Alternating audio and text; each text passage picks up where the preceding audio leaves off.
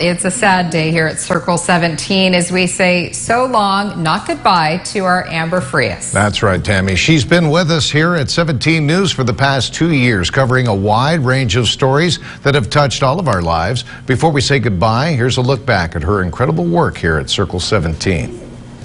Downtown business owners have long been complaining about vandalism. This is the second time we see Jamie Osuna in court following the murder of his cellmate Luis Romero. Good evening. I'm going to go right quick to Leticia. Leticia, how are you feeling? Just 10 minutes ago, we felt another aftershock.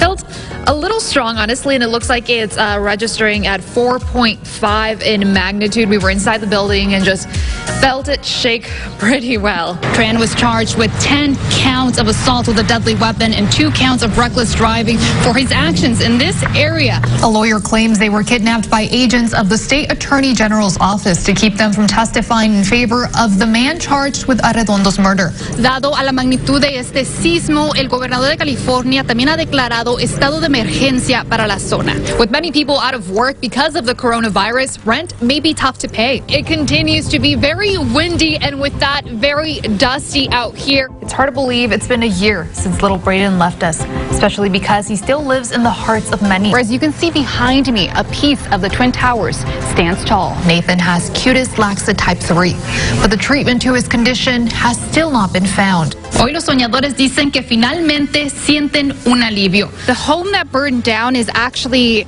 two homes down from Justin's, and we can walk over and look at it.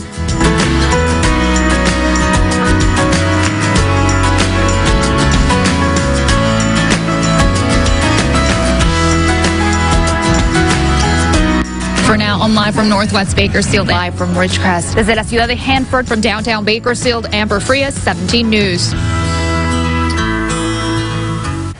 The always steady and dependable Amber Frias joining us now in studio. You have the last word tonight, Amber. We wish you the best. Thanks, Jim. I just want to thank all our viewers and everybody in the community for always being so welcoming and, you know, I've given me the opportunity to learn so much, you know, and feel like, you know, I don't know, part of the community in these past short two years. Oh, you will always be part of our family, and we do wish you the best. Amber is heading to NBC Channel 7 in San Diego, so, you know, it can't be too sad for you. I'm sad that you're leaving our family, but you'll always be a member of our family, and uh, you're going to sunny San Diego, and you deserve it. All right. Thanks, Jim.